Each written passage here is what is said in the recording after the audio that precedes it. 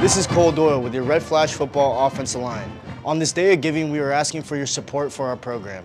Any donations made will go towards equipment and nutrition for our players. All donations are greatly appreciated and will help us make history at St. Francis. Let's, go, Red Flash.